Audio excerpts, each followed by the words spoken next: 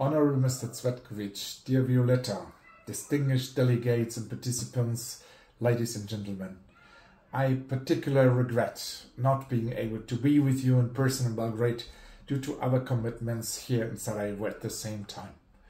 It was with great pleasure that I learned about the NALED Arrow Award, for which I would like to express my sincere thanks. The truth is not known by fine words, but by quiet deeds. After four and a half years of working with the Western Balkans within the framework of German cooperation and the GIZ Open Regional Fund Modernization for, of Municipal Services, I would like to express my great appreciation for the joint work with NALED, the excellent BFC network which today spans six economies in the region, the successful, innovative core days, but also the joint implementation of development partnerships with the private sector as well as our joint efforts to implement reforms for the benefit of the 575 municipalities in the region. With the same voice, I would like to thank NALED, our joint implementation of important projects with national and regional partners, as well as my GIZ team in particular.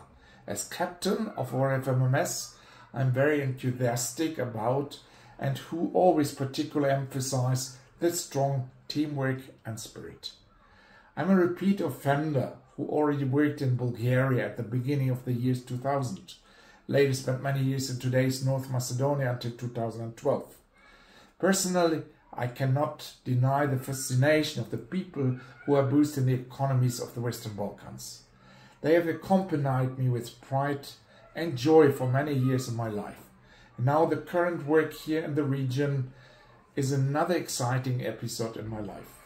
Addressing development tasks to the local level to which you have dedicated yourself with particular strengths is of big importance in our region on the path to EU rapprochement as it reflects the great efforts that this level has to make in fulfilling the EU acquis communautaire.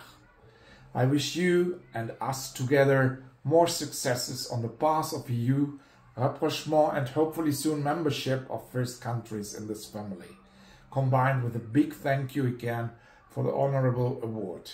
I wish you a nice evening and send my warmest greetings to Belgrade.